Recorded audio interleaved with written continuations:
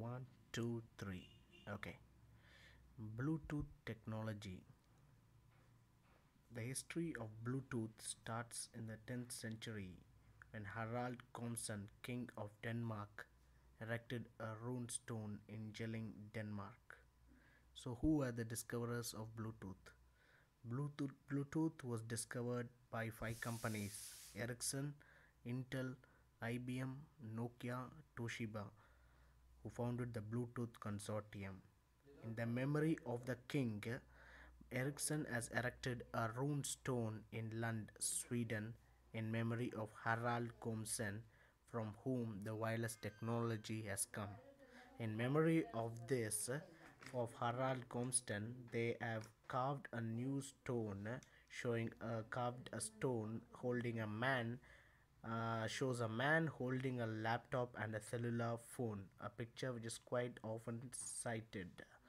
Okay let's see how a bluetooth and can be connected with laptop and a mobile phone.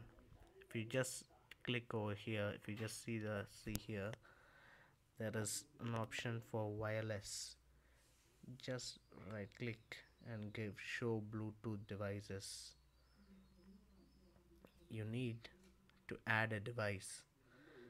First you need to switch on bluetooth in your laptop and your mobile phone. After that you need to search the bluetooth devices which are connected near to your laptop. So first you need to find from your laptop. Just now the bluetooth is on in your laptop and in your mobile phone. Just give add a device and now the computer will start searching any device. Now you'll see like a Nokia E5 phone is being connected. Just click there and give next. Now what happens is it will ask uh, accept pairing type the code. Now your mobile phone will have a request as accept pairing request from HP give yes and the passcode is given over here. Give two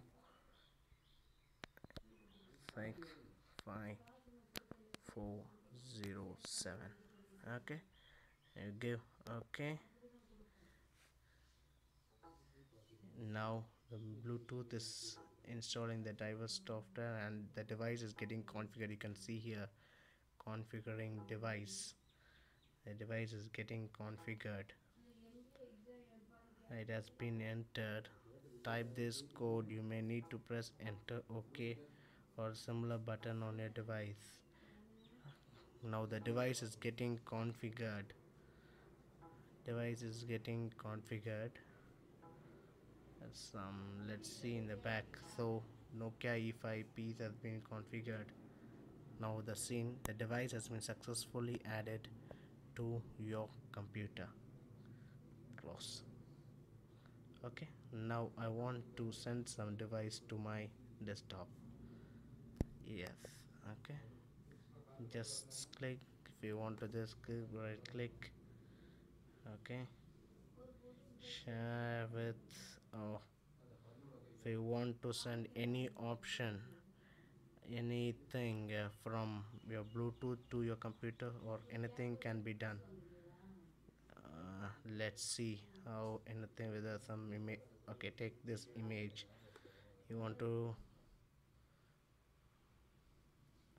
you want to share this image when send this via bluetooth. Configuring so the bluetooth device is getting configured. Configuring bluetooth devices.